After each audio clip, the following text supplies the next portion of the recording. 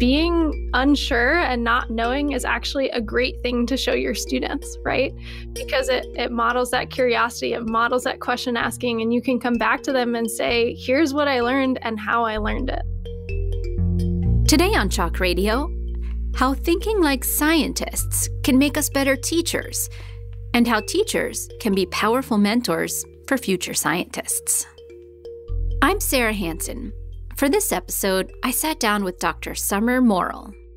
I started off as a graduate student at MIT in biology, but I'm currently the instructor of TA training in the biology department. I actually spoke with Summer right before she left MIT now she's a science instructor at a secondary school in New Hampshire. One of the reasons we were excited to bring Summer on the show was her unique and innovative approach to thinking about teaching. I guess what I'm most interested in is thinking about how we can apply all of our research ways of thinking to the classroom. You know, we all as scientists get this training of asking questions and iterating and looking at the evidence and trying again based on that evidence. And I think that we can really bring that into the classroom. I'm a first generation woman in science and didn't have anyone in my family or close circle who was a scientist. I didn't know what that looked like. And so for me, having teachers who were role models has been instrumental, starting from high school all the way through college and graduate school. So it seems like those life experiences sort of led you to be interested not only in biology itself, but the teaching of biology. Yeah, absolutely. I think that, you know, they gave me the passion for the subject material, but also were excellent models of what a good teacher looks like. Can you remember one person in particular? Yeah, my high school biology teacher, Mr. Janicki, he was one of the first biology teachers I ever had. And he just encouraged us to question and, and not just to sit there and accept what was in the textbooks, but actually think about why is this the way that it is and how does it work? And I think that that method of questioning really has left me being curious about science and wanting to impart that curiosity to my students. In her role at MIT, Summer and her colleagues were tasked with training about 100 teacher assistants working in the biology department each year. Some of these TAs were undergrads in a teaching role for the very first time. I was curious what kinds of worries or challenges new TAs usually came to her with. I think the biggest one that we see is worries about being wrong. What do I do when someone asks me a question and I don't know the answer, which I think is something that every new teacher struggles with. And I love being able to tell them that being unsure and not knowing is actually a great thing to show your students, right? Because it, it models that curiosity, it models that question asking, and you can come back to them and say, here's what I learned and how I learned it. For Summer, Teaching is a way to enhance her scientific chops, to approach problems with humility and curiosity. But it's also an opportunity to help students see science thinking in practice. This encouragement for TAs to intentionally model their science thinking skills in the classroom is central to Summer's philosophy. I wanted to know what kinds of experiences informed her approach to teaching scientists how to teach biology. This is funny to say as someone who is now a teaching professional, but I, in high school and college, was terrified of public speaking, like absolutely terrified. I could not get up on a stage or in front of a room without like shaking and and my voice would shake. And so for me, uh, by the time I got to graduate school, some of those nerves had gone away. I had done presentations for my courses, but I still felt that in my gut the first time that I got up to teach is am I going to be able to speak eloquently? Am I going to be able to be understood by this group of students who are trying to learn something from me. And I think that that nervousness, that imposter syndrome was a really big barrier. And we had a great pre semester training run by one of the professors in the department who tried to put us at ease, answer those questions about what do you do when you don't know the answer to a question? But when I stepped into the room, it felt like all that went out of my head. And I just wasn't sure how it was going to go. While Summer's experiences as an instructor informed a lot of her approach to teaching TAs, she also drew upon insights from other students and instructors to make sure the approaches the TAs implemented were inclusive and equitable. What often folks don't realize is how different folks' experiences coming into college, right? People are coming from all different places, all different types of school systems. And that means that they aren't starting on equal footing. And so, if we treat all our students equally, that ignores who they are as people. So, in her TA instruction, Summer teaches a strategy for creating a more inclusive classroom. This strategy is called multiple hands, multiple voices we really focus on participation strategies and how we ask our students to show up and participate in the room.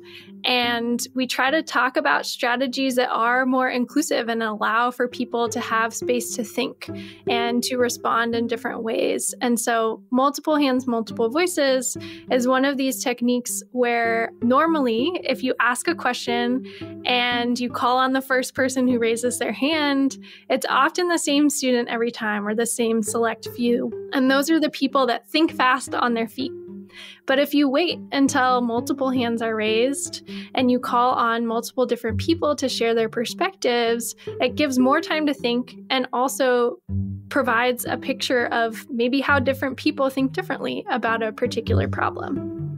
I often ask folks to kind of either count to six in their head really slowly or like sing a verse of happy birthday, like whatever you got to do to fill that space in your own head, because it can be really daunting to just look out and see blank faces.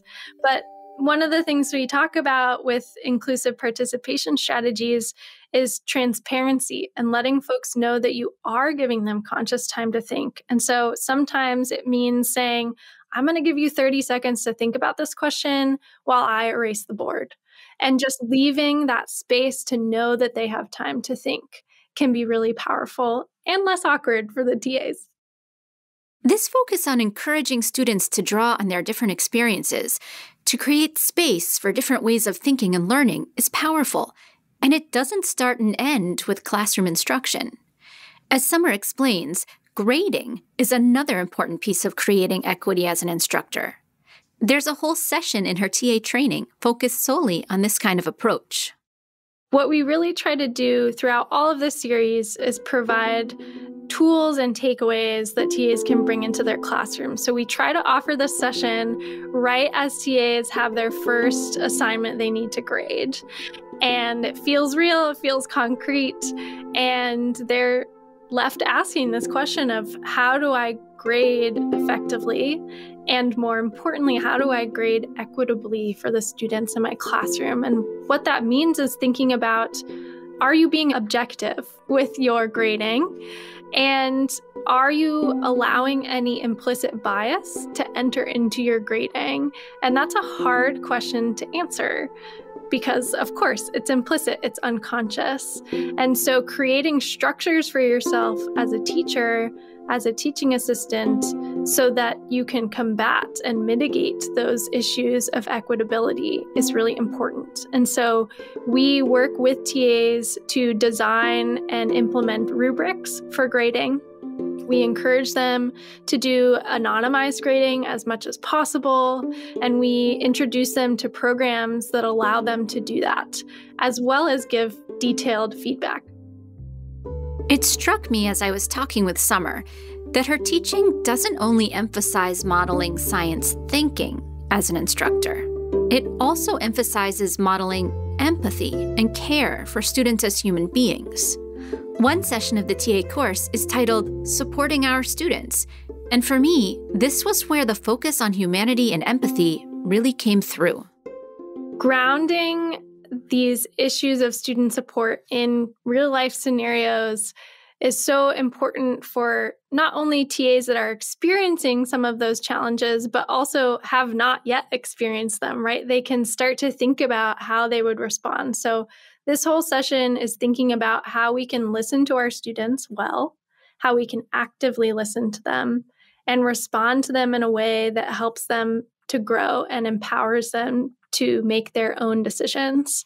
And so, not only is it thinking about challenges that our students face, maybe the first exam that they've ever just totally bombed, or something that might be going on in their personal life that's affecting their learning, but it can also be these challenging scenarios where, where students are challenging us to be better teachers. And so I often tell them as because I give them the list of scenarios to choose from as we're going through this and I I ask them to choose something that either feels very relevant to them or most challenging to them.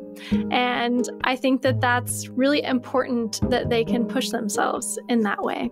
And so the scenario, the student that calls you in, this was actually an example that I took directly from my own classroom. So I was teaching a cell bio course as a teaching assistant, and we were talking about genetics. And often in genetics related topics and genetics courses, we throw out mom and dad as being the genetic donors and mom and dad, maternal, paternal, very gendered terms. And I had a student who raised their hand. This was a non binary student. And they let me know that this kind of felt weird to them that we were using all of these gendered terms to talk about a very scientific thing genetic donors. And they felt that it was exclusive of their experience. And I really, for me in that moment, wished that I had thought about this ahead of time because all I could do was thank that student for letting me know and say, you know, I'm going to look up more about how we can be more inclusive in genetic language. There is research and papers out there that put forth new systems of explaining genetic terminology. But if I had thought about it ahead of time, I would have been able to really expand on that and talk about the intersections between the way we talk about things as scientists and kind of societal issues and, and societal reflections on what we're learning. Given how complex it can be to implement these concepts of inclusivity, equity, and empathy, let alone as a first time TA, I was curious how Summer implemented systems to provide feedback, especially since so much of these TAs' work was being done in real life, real time classrooms. This was one of our key priorities that we identified as something that TAs were looking for. They wanted to know if they were just shouting to the void or if what they were doing was actually making a difference and having an impact. And so, one of the graduate students that I worked with during the needs assessment process, he developed a worksheet for an observer to go through to kind of think about community and engagement and how those were playing out in the classroom. For anyone who wants to be observed, I have folks sign up. We usually get about 20, 25 teaching observations per semester. And I have them choose a time that they'd like to be observed and sit at the back of their classroom, trying not to intrude, and just listen. And I type up notes, and those are notes for them to keep. But importantly, those are notes for them to learn, and they are not evaluative in any way. So I try to create a space where TAs feel like it is a learning experience and not something that they're going to be judged for, right? Getting observed is a terrifying experience, even if it's someone that they know and are comfortable with. We meet together afterwards to look at those notes. We talk about what's going really well. We talk about the ways they're connecting with their students. And then we brainstorm and discuss ideas that might make things go more smoothly or might engage those students that tend to be quieter in the back of their class. So it really is just a an opportunity for us to touch base and for the TAs to learn. It's a interesting. I think culturally, we almost think of teaching as sort of an innate ability versus something, a, a skill set that can be cultivated and practiced. And I feel like programs like this really emphasize that growth model and that you know, I think that's why people are afraid to be observed because they're, they're like, oh, I'm not good enough. Instead of, you know, I haven't developed those skills yet, but, you know, here's a, a program that can help me do that. Just like if you were learning to play the flute, of course you're going to be terrible the first few times until you have some modeling and some learning, and then you get better. Absolutely. I think, you know, as their students are learning, they are learning too. And the next time that they go to teach, it'll be a different group of students. It might be a different course, but they'll have taken all of what they learned about teaching and connecting with students into that next experience. And even beyond teaching, folks can think about how it applies to their roles as mentors in the lab, as scientific communicators and presenters. Now, if you're an instructor of another subject, you might be wondering whether Summer's tools for biology pedagogy would work for you. So I asked Summer whether her OCW materials would be adaptable for other subjects and instructors. Yeah, absolutely. I think what I've tried to do in the materials I've developed is leave space to make it adaptable to your particular discipline. So often, for example, when we look at providing feedback and looking at grading practices, what I do is I pull a problem or a question from one of the courses that the TAs are in. And so right now in the materials, it'll say something like pull something from your TA's courses. And it, it, could be an essay question that's graded, it could be more of a problem based question. But absolutely, I think with some reflection on what the needs are, you'll absolutely be able to adapt these materials. One of the big things, not only did we reach out to stakeholders in developing this program, but tried to match the pacing of our sessions with what our TAs were experiencing during the semester. And so that would be the advice I would give is try to tailor it to the TA's direct experience as much as possible. Before I left my conversation with Summer, I asked her if she was excited to move on to her next position teaching students at the secondary level. I am. I'm super excited to transition to the high school world. As I mentioned, that was where I first learned to love biology. And so I'm super excited to get to be a mentor and a role model for those high school students that don't yet know that science is their thing and we'll get to do lots of cool biology together. If you're feeling motivated to improve instruction in your field and want to teach with Summer Morrill's materials, you'll soon find them all on our MIT OpenCourseWare website. As always, they are open and free. Thank you so much for listening. Until next time, signing off from Cambridge, Massachusetts, I'm your host, Sarah Hansen from MIT OpenCourseWare. MIT Chalk Radio's producers include myself, Brett Paci, and Dave Lishansky. The show notes for this episode were written by Peter Chipman. Be sure to give us a follow on Instagram, Twitter, and wherever you get your podcasts.